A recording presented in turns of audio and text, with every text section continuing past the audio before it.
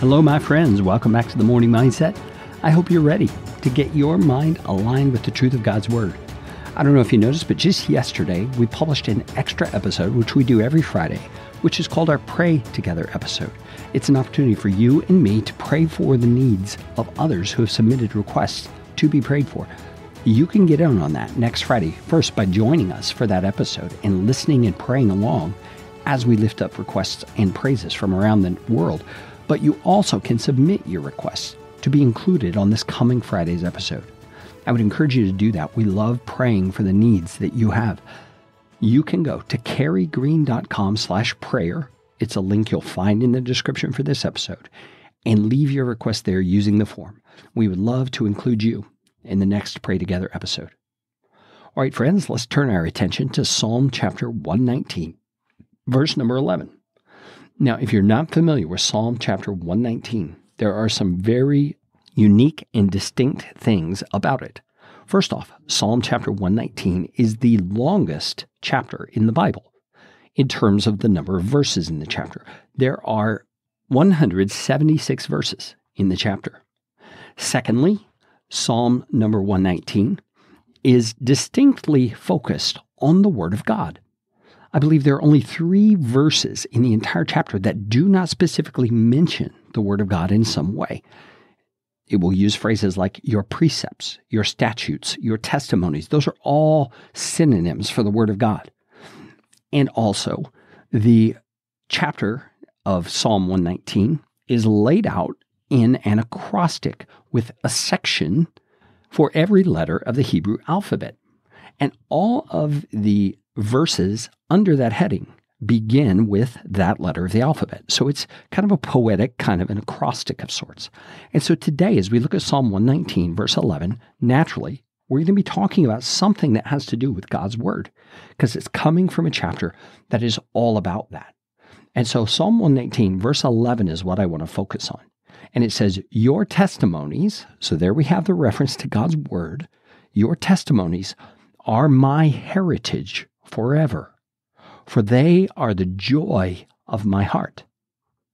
Now, friends, as I read this verse, this is a convicting thing to me because there are lots of things that I would say are the joy of my heart.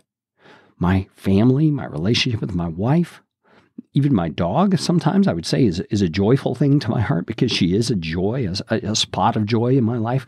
But, friends, look at what David says here. He says, God, your testimonies are the joy of my heart. So, in other words, your word, the words that flow from your mouth, God, the truths that you tell me, the instructions that you give me, the prophecies that you've revealed in the Old Testament, even the Levitical law, which was very much part of the testimonies that David would have been referring to, those were all considered the joy of his heart. He had learned to delight in all of those things because in those things he found God's truth. He found joy by aligning his mind with the way God thinks. And isn't that to be expected?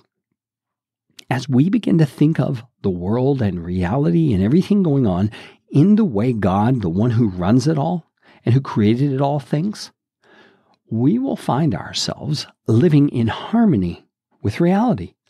There will be no dissonance. There will be no sense of being ill at ease because we think differently than God does. No, we will find ourselves living in a place of harmony that produces joy. And friends, I want you to really assess yourself right now. Does your heart resonate with the Word of God in a positive way, where you find that the Word of God indeed is the joy of your heart? Do you read it and when you come across difficult passages, even though they're difficult, you say, Nevertheless, Lord, this is your word? Nevertheless, I want to rejoice in what you're teaching me here, even if I don't understand it, and even if it feels a little odd to me. You see, friends, as human beings, we have to remember our place as the creature under the guardianship and the leadership of our God, who is our Creator. And we need to rejoice in His Word because His Word is truth. Lord God, show us the joy that is to be found in your Scriptures.